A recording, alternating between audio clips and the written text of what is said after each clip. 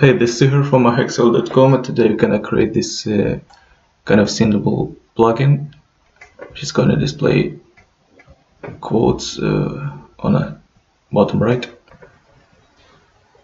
Alright, so the first thing is that you need to, to call on the IDEA Community Edition uh, source code. You can use this command. Then go to the directory that you downloaded and run get plugins.shell or byte command. Open the repository in the IDE. Go to project settings, SDK, select 1.8 and uh, add the tools.jar from JDK lib folder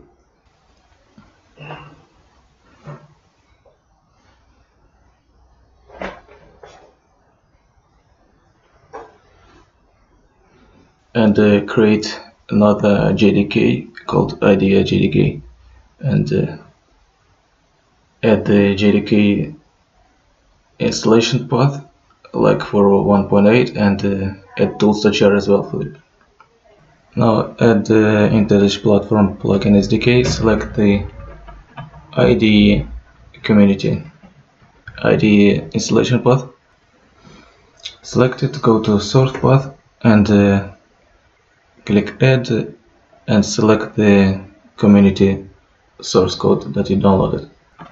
Now try to build project and run it after that the IDEA build config.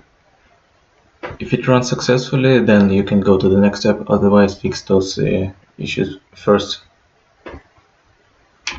Now we're ready to actually create our plugin.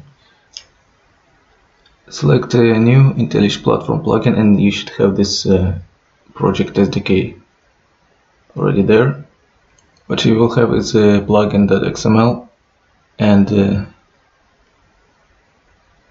project model in here. And what we need is plugin that runs on the startup time of the IDE. If you don't have a default uh, run config, create it, uh, go there and uh, create new plugin and then try to run it to see if it uh, builds successfully. So what we want is uh, to create an application component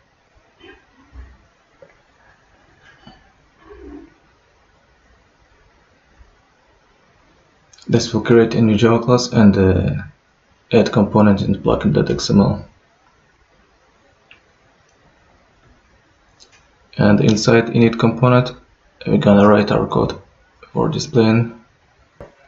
And just by going through the source code of the IDEA, you can find that uh, this code snippet displays the kind of pop-up we want. For now, we're just gonna display a hard-coded code.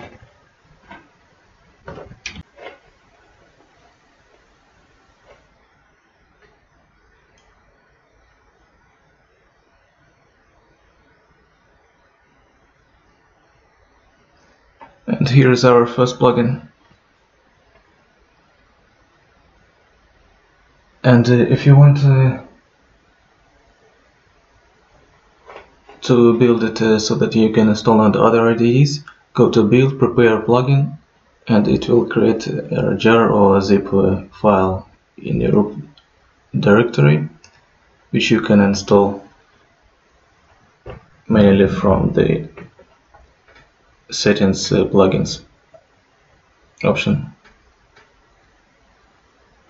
And here for displaying actual quotes, I use this side and Jsoup for uh, scraping those quotes.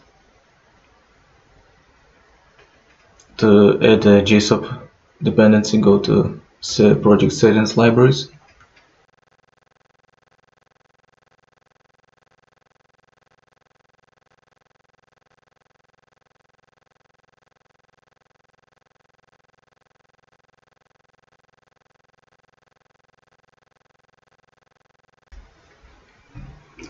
and just create the data that you want to display. and that's it for now. Just created uh, our first plugin. We learned how to set up a development environment for that for creating more complex in the future. And uh, thanks for watching